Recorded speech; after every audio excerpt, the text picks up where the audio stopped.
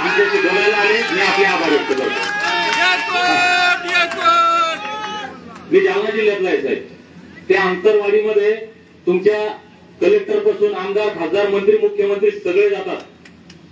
आम्हाला भेटायला तुम्ही सहा दिवस येत नाही. आम्हाला राग आहे प्रचंड ते नाहीये. तुम्ही दिवस दिवस भरतीचं चर्चा करता. आमच्याशी बोलायला तुम्हाला दहा मिनिटं अन्याय उचित नाही माफ करा. उचित नाही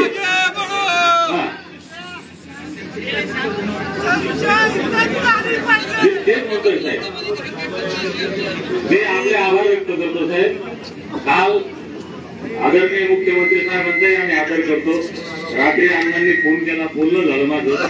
साहेब आमचे व्यथ आहे हे शिष्टमंडळ बोललं हे आमचे नेते. हे जे तो आम्हाला मान्य आहे. याच्यात एक टक्का शंका नाही.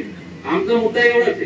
की जरांगे पाटील ज्यावेळेस मी नाव घेऊन सांगतो पाचताचं याच्यापुढे सगळ्याचे वडिलां घेऊन दिवस दिवस चर्चा करतात अण्णा नाही आहे आमच्या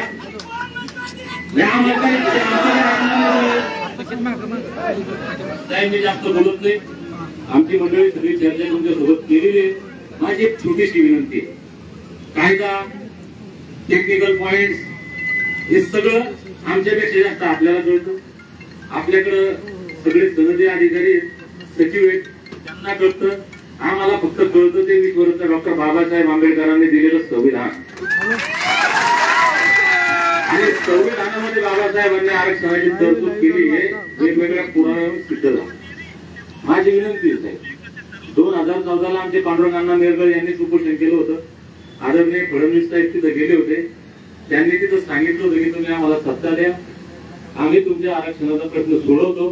माझा अभ्यास झालेला आहे माझ्याकडे गाणीकडे पुरावे आहेत. माझा सगळं हे पहिल्या कॅबिनेटमध्ये देतो. आमची एकच विनंती आहे साहेब. तुमचा वेळ आम्ही घेत नाही.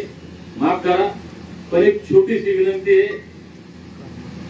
आम्हाला कायद्याच्या कसकटीत काहीच कळत नाही. आम्ही अडाणी आहे. फडणवीस साहेबांचं वाक्य आम्हाला कळतं बाबासाहेबांचं विधान कळतं. फडणवीस साहेबांचा अभ्यास झालेला आहे ना फडणवीस साहेबांनी एसटी आरक्षणाची अंमलबजावणी करावी. आणि फडणवीस साहेब मुद्दाम म्हणतो कारण शिंदे साहेब त्यावेळी त्याच्यात नव्हते. आम्ही शिंदे साहेबाला विनंती करतो आपल्या वतीनं. शिंदे साहेब आता मुख्यमंत्री आहेत.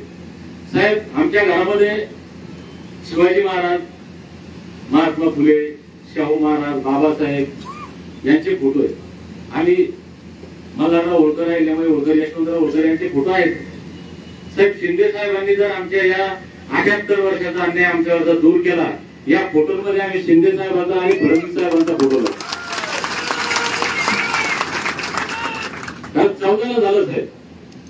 यांनी आमचं सात वर्ष वाटोळ केलं म्हणून आम्ही त्यांचं वाटोळ केलं आणि सत्ता बदलली आजही साहेब प्रामाणिकपणे महाराष्ट्रातला धनगर समाज तुम्हालाही माहिती आहे आम्हालाही माहिती आहे.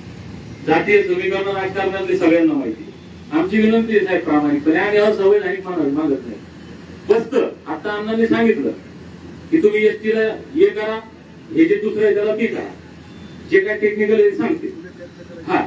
आमची एकच विनंती आहे की आपण जर आता या एसटी आरक्षणाची अंमलबजावणी केली तर मी ज्या पद्धतीने सांगितलं आमच्या घरांमध्ये आपले फोटो लागतील. आमचा समाज तुम्हाला हा शंभर टक्के प्रामाणिक विश्वासू आणि एक वचनी समाज या देशातला जर असेल तो धनगर समाज आहे.